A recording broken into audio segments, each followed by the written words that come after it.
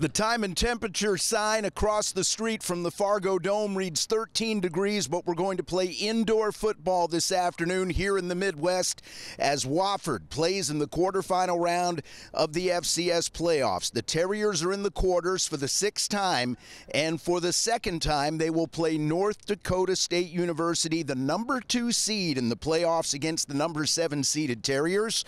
North Dakota State won their opener in the playoffs last week over San Diego. Diego 38 to 3, while Wofford at Gibbs Stadium dispatched of Furman 28 to 10. North Dakota State is 11 and 1. Wofford comes in at 10 and 2.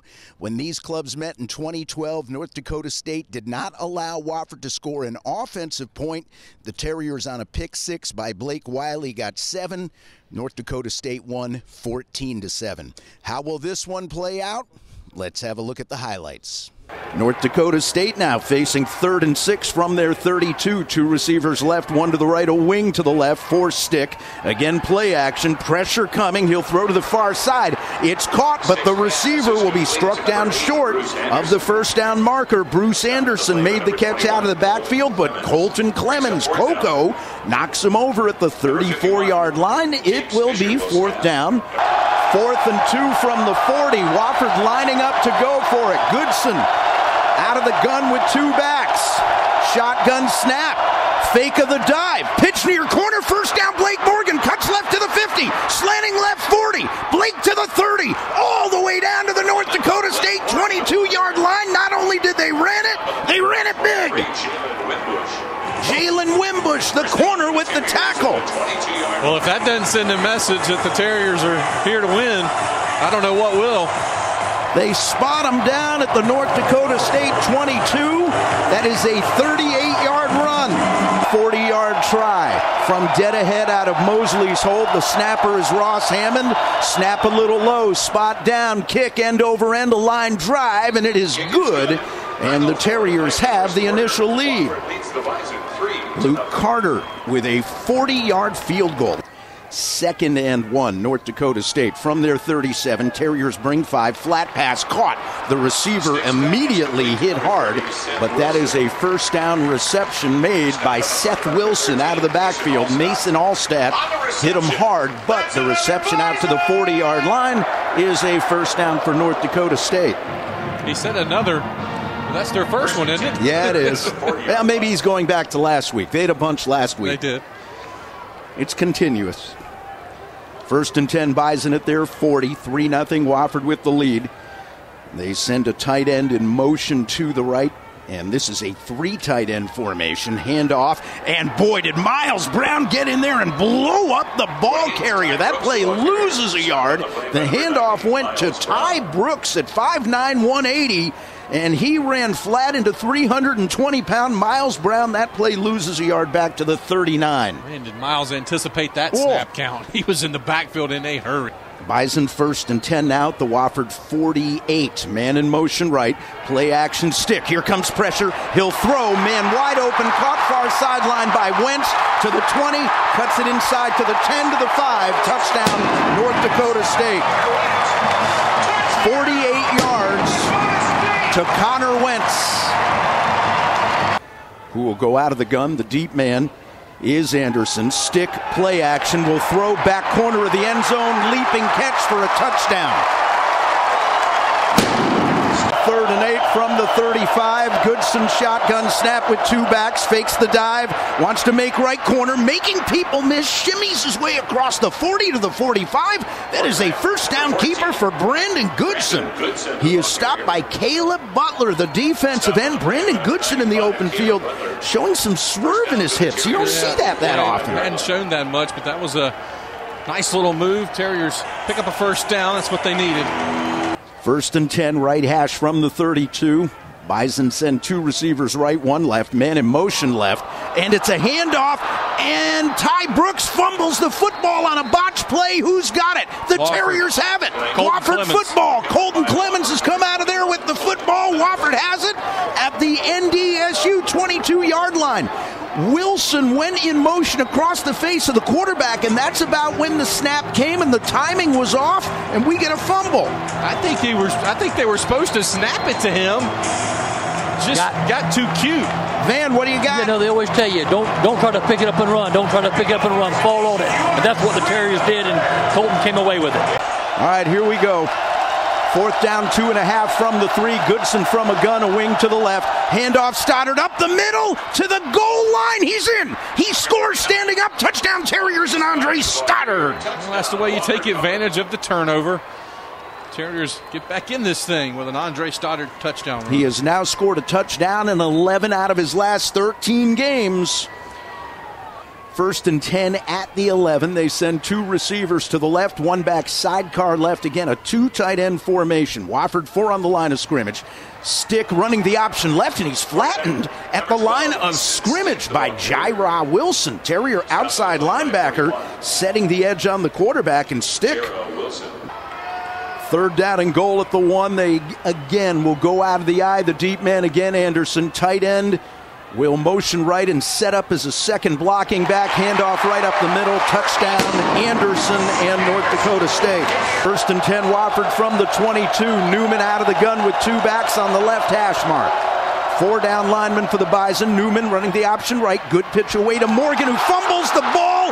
It is picked up by one of the Bison. Return down to the 10, return to the 5. Where are they going to mark him down? They're going to mark him down at the three yard line. Again, it's Robbie Grimsley. What a game this guy's having. Second and goal from the four. Urzendowski will split to the right.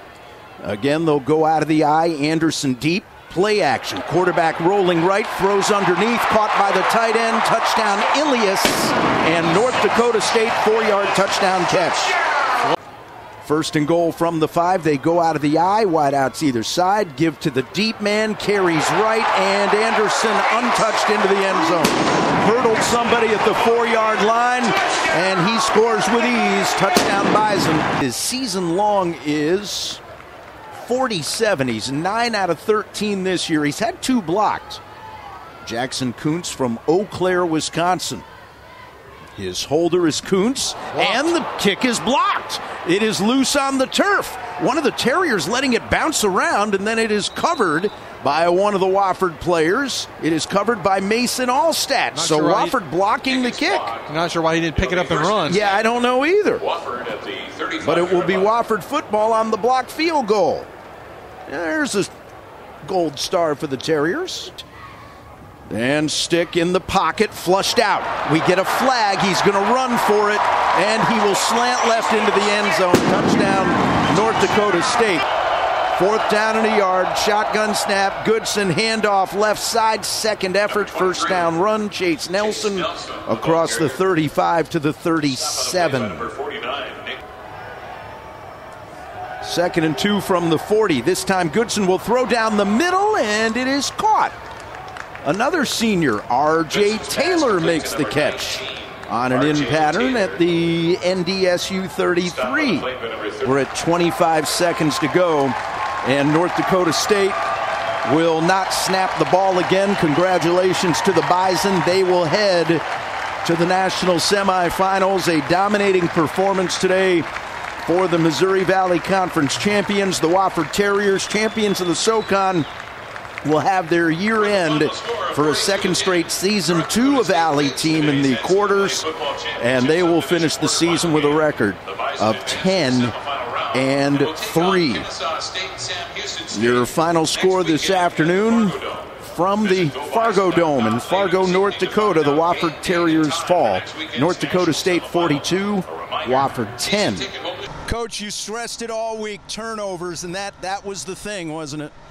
Well, that's uh, the thing that kind of uh, got one foot in the grave for us. Uh, just before the end of the second half, we uh, we just blew up, and uh, that created a a big hole for us, and uh, we we just just couldn't do the the things that we wanted to do. big thing was that that team we played, they're outstanding very few mistakes on their part except for that one fumble that uh, we were able to get a touchdown off of. And I thought uh, I thought we were playing hard, uh, but uh, it, it, it, was difficult. Uh, offensively, we struggled. Uh, we're trying to call the best play, and all of a sudden they shift the defense, and in there you can't hear.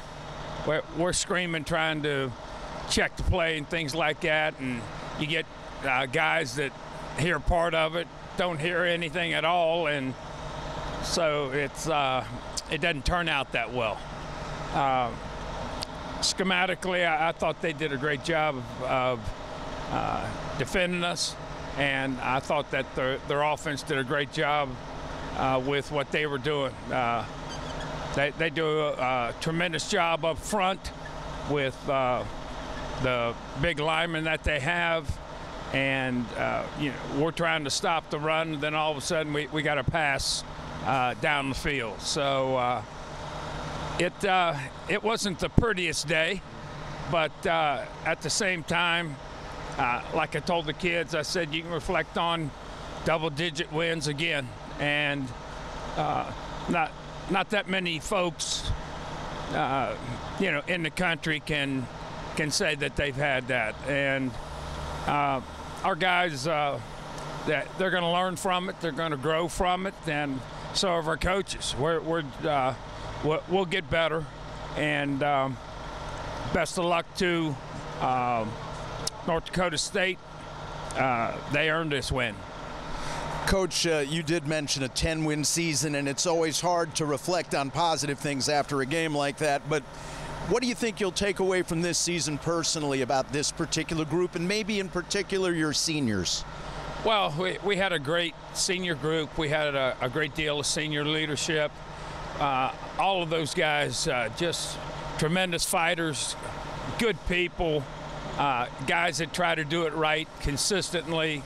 Uh, a, a, group that, uh, no matter how tough things got, uh, they they were always uh, standing up and and saying the right things and doing the right things. You know, you had a couple of down years in there before you got yeah. back to 10 wins. What does this last season mean to you on a personal level?